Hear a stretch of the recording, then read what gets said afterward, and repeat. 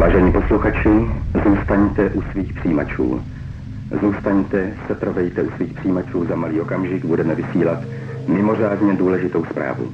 Dostali příkaz ukončit vysílání, ale vysílali dál. Hele, tahle budova je po čertech nepřehledný labirint. Ty mladí kluci kavkazský nevidí ani kolik je hodin na to, aby se orientovali tady v tomhle baráku. Hmm. Studio číslo 7 i s reží tady najde jenom ten, kdo zná rozhlas jako svý boty. Navíc je přímo nad náma. Když to tady skrytě propojíme se sedmičkou, můžeme odtud vysílat přímo před jejich očima. A to i přesto, že rozhlas byl plný vojáků. Быстро! Выполняйте приказ! Вот это что такое? Давай, ты, рыбай! V rozhlase je možná 2000 telefonů. Nemůžou odstřihnout všechny. A co když jo?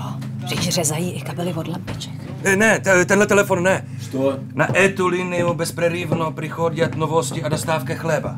Vy na druhou etáž. Takže od teďka budeme tenhle telefon používat pod krycím jménem pekárna, jo?